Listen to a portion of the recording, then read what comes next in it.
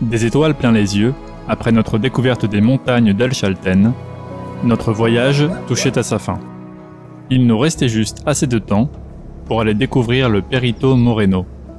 Avec son front de glace de 5 km de large, il est l'un des 48 glaciers qui composent le champ de glace sud de Patagonie, la troisième calotte glaciaire après l'Antarctique et le Groenland. Mais c'est d'abord au parking que nous avons fait une rencontre étonnante avec le Caracara.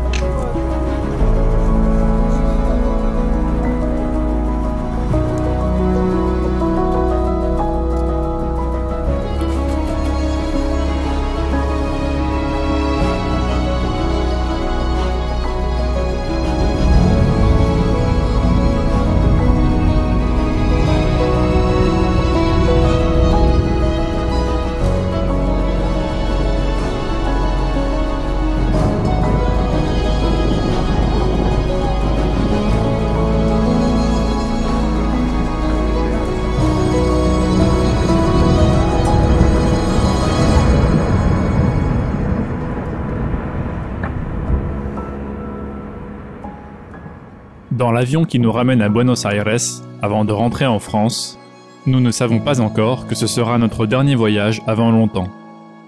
Mais nous sommes comblés, heureux d'avoir pu découvrir les richesses de ce magnifique pays qu'est l'Argentine.